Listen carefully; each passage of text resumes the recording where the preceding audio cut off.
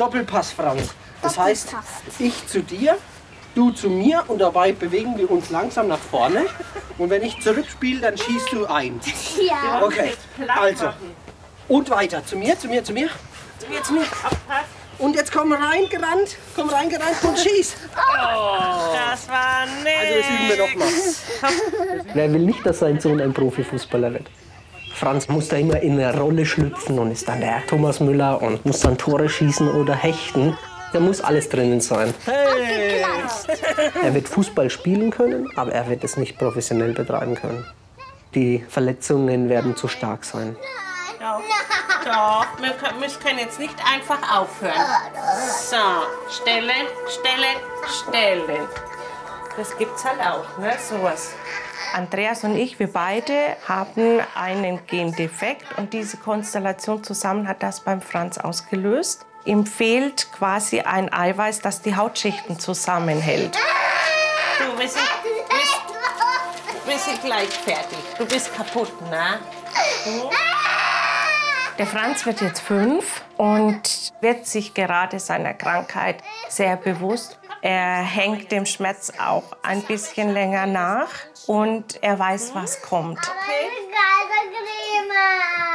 Aber keine kalte Creme, ist alles warm. Die Panik und die Angst ist so groß und übermächtig, dass wir da ganz schlecht an ihn rankommen, um ihm diesen Druck zu nehmen. Dann ist so ein Verbandswechsel extrem schwierig und aufwendig.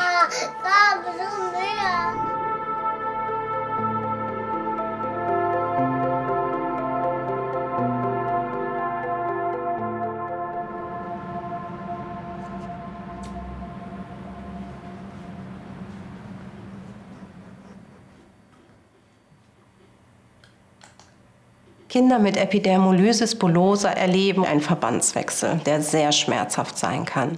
Ich höre regelmäßig von Kindern, dass die Angst vor dem Schmerz viel belastender ist als der eigentliche Schmerz. Die Ursache dafür ist einfach. Schmerz entsteht im Gehirn. Je mehr meine Aufmerksamkeit auf dem Schmerz liegt, desto stärker spüre ich den Schmerz. Auch andere negative Gefühle wie Ärger, Hilflosigkeit, Traurigkeit können den Schmerz verstärken. Das heißt, Schmerz ist beeinflussbar. Und das Spannende daran ist, dass wir den Schmerz nicht nur negativ, sondern auch positiv beeinflussen können. Alle Eltern, mit denen ich zusammenarbeite, entwickeln Strategien, um den Schmerz beim Verbandswechsel so gering wie möglich zu halten. Ja, wir haben natürlich auch ein paar Tricks auf Lager. Filme abspielen. Manchmal möchte er auch Musik hören oder auch ein Hörbuch. Und das geht wunderbar mit einem Tablet. Das stellen wir an der Wanne hin wird dann auch mitgenommen in das Verbandszimmer, wo wir die Liege haben. Und es ist ganz oft so, dass er wirklich sich so sehr auf den Film konzentriert, dass er nicht mal mitbekommt, wie ich seine Blasen versorge. So, eins geschafft. Nächster. Soll die Paula hilft heute mit, oder? Das wird die Chefin mal eines Tages. Ja, hin und wieder darf auch die Paula mitgehen, wenn wir den Franz baden. Paul ist natürlich noch ein tolles Mittel, Franz von seinem Schmerz abzulenken. Weil die große Schwester ist natürlich ganz oben auf immer und hat ganz tolle Ratschläge und Ablenkungsideen. Ich helfe mal mit oder schaffst du es allein, Paula? Ich schaff's allein. Guck mal, wie ein Kuchen. Ja, genau. Wie bei der Schokoklasse noch Stell mir vorhin. jetzt vor, ich tue eine Vanille Genau, schauen wir an. Auf den Franz schmieren. Es gibt keine noch so steife Situation, an der ich nicht einen witzigen Gedanken irgendwas habe. Wir haben ja schon mal Piratenärmel hingeschnitten. Wollen wir? Wollen wir mal? Ja. Pass auf. Da, muss man so, da musst du so eine Zinke reinschneiden. Man darf nicht alles so ernst nehmen. Auch wenn ein Kind so krank ist und so aussieht, gibt es lustige Momente. Und das lassen wir normal mit einfließen. Franz macht dann auch seine Witze, verstärkt manchmal sogar die Gestik und steigt auf den Witz mit ein. Nein, ich mach nix. Okay. Glück- Ah, Streifschuss.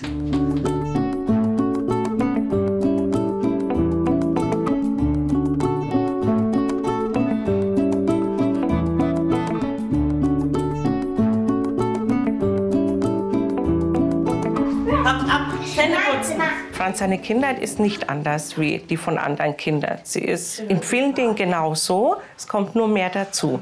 Und das sind die Punkte, die mit der Krankheit zu tun haben. Guck, es blutet heute ganz viel.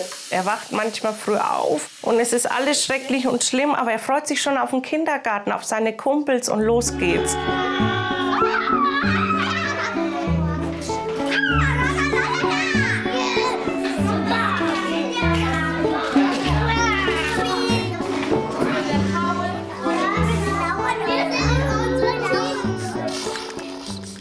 Franz liebt Tiere ganz verrückt. Und es gibt auch ganz starke Tiere, die keine Angst haben, die bei Schmerzempfinden brüllen würden. Der Bagheera aus dem Dschungelbuch. Der schwarze Panther, sein allerliebstes. Wie macht der Bagheera? Kannst du auch mal so schreien dann? Ui. Wenn der Bagheera einen Schmerz hat und auf den Dorn getreten ist, dann brüllt er. Franz nimmt es gerne an und lässt es raus. Ich denke, das ist eine Art, damit fertig zu werden. Das ist gut für ihn. Jetzt brennt's. Ja. Und jetzt ist gut? Mhm. Wow, bis unter das Kinn, Franz. Am Anfang, im ersten Jahr, habe alles alleine gemacht. Ich habe alles an mich gerissen und keiner konnte so gut wie ich. Und dann irgendwann habe ich sehr wohl gemerkt, dass das nicht funktioniert. Das hat Auswirkungen auf die Ehe. Der Partner fühlt sich an die Seite gestellt. Man verliert den Zugang zueinander. Ich war total überbelastet, weil es einfach zu viel war. Und dann musste ich lernen abzugeben. Oh, die Paula macht das aber ganz schön. Dass ich nicht von Anfang an mit dabei war bei den Verbänden und Anlegen und Machen. Das hat wahrscheinlich damit zu tun, dass ich das lange nicht so akzeptiert habe. Wir mussten uns ganz neu damit beschäftigen und ganz neu damit auseinandersetzen. Ich denke, dass wir ziemlich viel jetzt wissen über diese Krankheit. Wir müssen uns da nicht verstecken vor irgendwelchen Ärzten. Wir sind auf einem wirklich guten Weg. Der ist nicht einfach. Der steckt voller Arbeit. Aber wenn wir hier Arbeit sparen, dann sparen wir am Franz.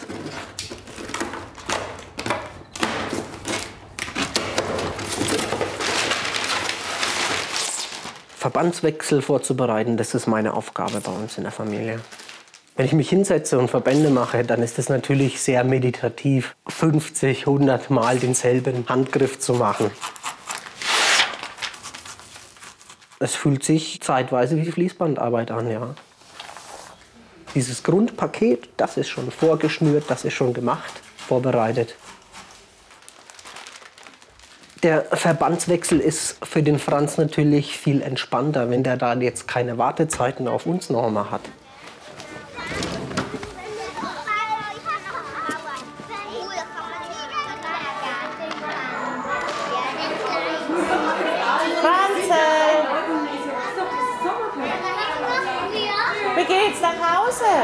Verbinden?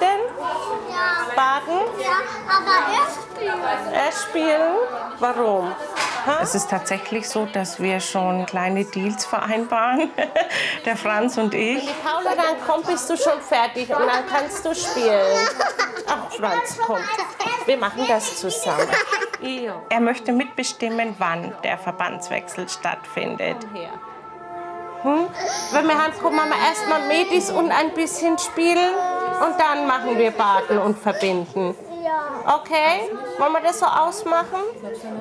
Ja. Ich kann nicht einfach hingehen und Verbände abreißen, weil ich würde ihn in dem Moment ja alles nehmen, was für ihn wichtig ist, nämlich die Kontrolle darüber zu haben, was jetzt stattfindet. Mama, die Füße macht den. Mach erst den blauen noch raus. Nein, wir machen erst. Also, dann mach erst den. Er muss das wollen. Er muss den Ton angeben. Er muss uns sagen, jetzt und in dem Tempo und so geht's. Und dann ist es ein gutes Miteinander. So, jetzt darfst du mal Blase aufmachen. Guck mal, da drüben müssen wir noch mal rein. Ich glaube, ja, gib mir eine Note. Ich kann sehr gut. Du kannst es am allerbesten ist es so, dass der Franz mittlerweile bestimmt, wie es abzulaufen hat. Er übernimmt immer mehr Tätigkeiten selbst. Wir leiten eigentlich fast nur noch an und begleiten ihn durch diesen ganzen Prozess durch.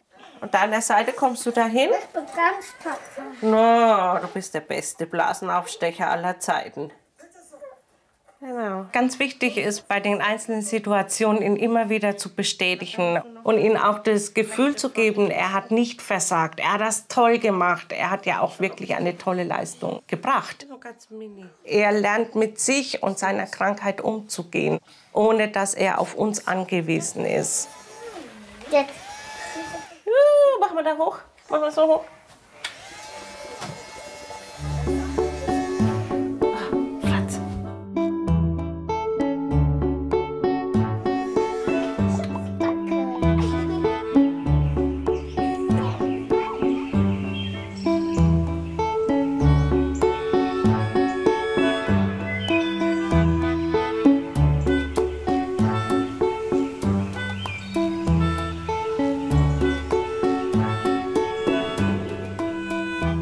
Fahren 24 Stunden lang Achterbahn. Es geht rauf und runter und rauf und runter. Schatz, es wird alles gut, du wirst sehen. Jetzt mach erst mal deinen Fuß auf. Eins nach, na, eins nach dem anderen. Kümmere dich jetzt erst mal, dass so weit Also einer muss ja Haltung bewahren. Ich habe da in dem Moment ganz wenig Mitgefühl für meinen Sohn.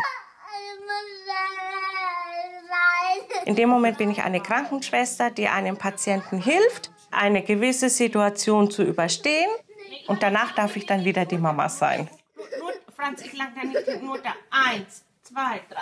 Wenn ich merke, dass er mir entgleitet, dass ich keinen Einfluss auf das, was jetzt passiert mehr habe, dann immer Blickkontakt herstellen. Das ist dann einfach die Situation zwischen zwei Menschen. Wir konzentrieren uns aufeinander und das trägt ihn über diesen Moment. Das schafft nämlich für ihn Vertrauen und auch diese Zuversicht, er kann es doch schaffen. Mowgli. Mowgli, unser Held. Mowgli, unser Held in der bunten Dschungelwelt. Lädt euch alle herzlich ein, selber mit dabei zu sein. Wenn der Franz wieder mal vor Schmerzen schreit in seiner Wanne und wir mal kurz ein Liedchen anstimmen, dann nimmt es ihn mit und er kann das für einen Augenblick vergessen und stimmt mit ein. Wow! Es gibt viele Möglichkeiten, wie wir den Schmerz beim Verbandswechsel beeinflussen können. Solche Bewältigungsstrategien kann man in fünf Gruppen einteilen. Alles fängt mit einer guten Vorbereitung an. Griffbereite Verbandsmaterialien, eine gute, entspannte Atmosphäre, klare Ankündigungen und Anweisungen All das kann dazu führen, dass der Verbandswechsel möglichst schnell und übersichtlich abläuft. Besonders hilfreich sind die Ablenkungsstrategien. Spielzeug, Hörspiele, Filme, Singen, Denkspiele oder sich einfach nur über schöne Dinge unterhalten. So wird die Aufmerksamkeit vom Schmerz weggelenkt. Ganz wichtig ist auch, das Kind beim Verbandswechsel emotional zu unterstützen. Zum Beispiel durch eine Helferfigur, die dem Kind zeigt, wie man den Schmerz rausbrüllt. Humor, Körperkontakt oder auch sich Mut machen. Komm, wir schaffen das. Hierbei werden positive Gefühle gefördert, die das Kind stabilisieren. Die Angst vom Schmerz kann man auch dadurch verkleinern, indem man das Kind aktiv in den Prozess mit einbezieht. Das Kind kann mitentscheiden, wann und wie der Verbandswechsel stattfindet und mithelfen, zum Beispiel beim Blasenaufstechen oder Verbände lösen. Das Kind erlebt mehr Kontrolle und wird immer selbstständiger. Nach dem Verbandswechsel kann man noch mal hervorheben, was gut geklappt hat und sich nach der Anstrengung belohnen mit einer schönen Aktivität. So geht man gestärkt aus dem Verbandswechsel raus. Neben den unmittelbaren Einflussfaktoren auf die Schmerzwahrnehmung spielt auch der Umgang mit der Erkrankung eine wichtige Rolle. Aus meiner Erfahrung heraus ist es hilfreich, die Krankheit akzeptieren zu lernen, Verantwortung zu teilen und Hilfe zuzulassen. So kann EB Teil des normalen Alltags werden.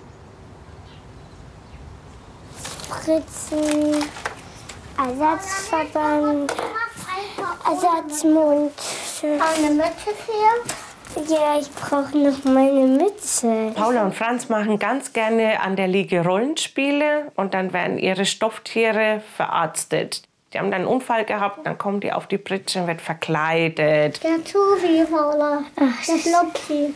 Okay, der braucht wirklich Hilfe. Die Verbandsliga ist kein verbotener Bereich. Sie dürfen auch alle Sachen benutzen. Es soll ja auch so authentisch wie möglich sein. Das ist für Franz, denke ich, ganz wichtig, wenn er in diese Arztrolle steigt und er hat die Kontrolle darüber. Hab ich ab. Franz soll natürlich ein möglichst normales Leben führen und dazu gehören auch Aktivitäten auf dem Spielplatz, Rutschen und Schaukeln. Und diese Blasen, die er sich dann da zuzieht, die machen wir gerne auf, weil das sind Spaßblasen, nennen wir die. Natürlich macht er als Mutter, oh mein Gott, ja, was da dann wieder los ist. Und es ist für seine Grunderkrankung lebensnotwendig, ihm das alles zu ermöglichen, weil daraus zieht er Kraft.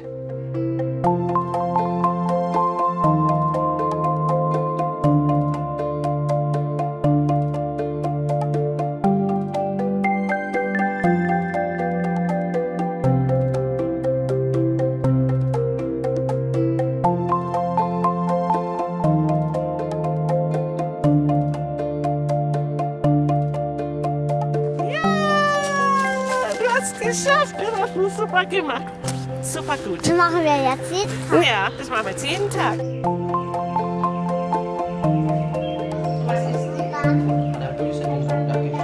Ganz wichtig ist, dass man für sich als Familie den Weg findet. Man kann bei EB nichts richtig oder falsch machen. Alles ist in Ordnung, was zur Familie passt.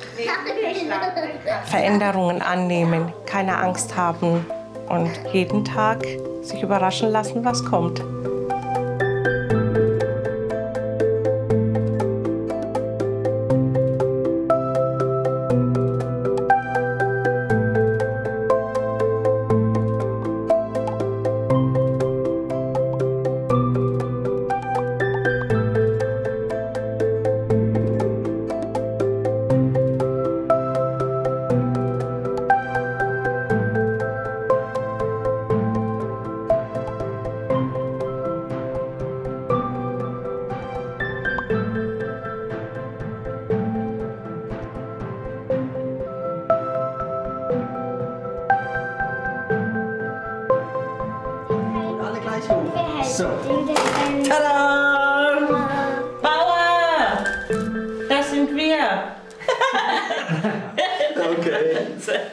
Haben wir gut gemacht.